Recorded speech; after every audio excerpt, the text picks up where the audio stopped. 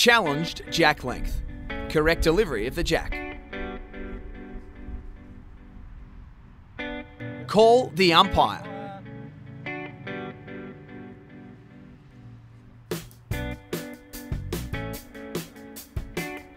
Ensure the jack is centred and that the mat is at least 2 metres from the ditch. If the mat is incorrectly positioned, return the jack to be re-delivered by the opposing player. Have the end of the tape held by the marker, another umpire, or a player at the centre of the mat line with the zero at the mat line. Make sure it is held at the centre of the mat and the tape starts at zero. The umpire should then walk forward, allowing the tape to unwind. The tape must lie straight and tight along the ground and carefully check the distance.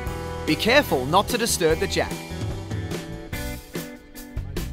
To avoid disturbing the jack, you will need to extend the tape beyond it. It will be necessary to position the tape as close as possible to one side of the jack.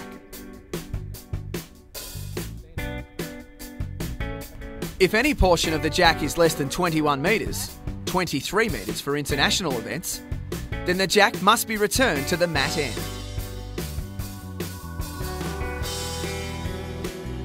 If both players have now rolled the jack incorrectly, the jack should be placed with the nearest point of the jack to the mat line being 2 metres from the front ditch. If the jack is of correct length, inform the players and quickly rewind the tape while walking off the green.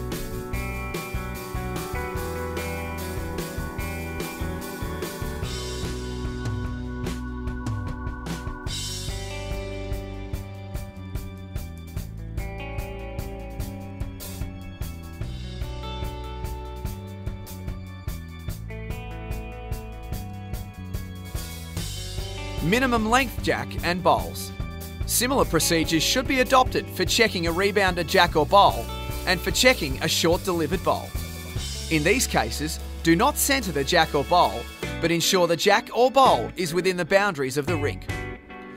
The minimum length for rebounder jack is 18 metres and 14 metres for a bowl. If there are umpires at each end of the green when measuring jacks or bowls, the umpire from the non-mat end should bring the tape down the green and hand the end to the other umpire, who will then place the tape correctly.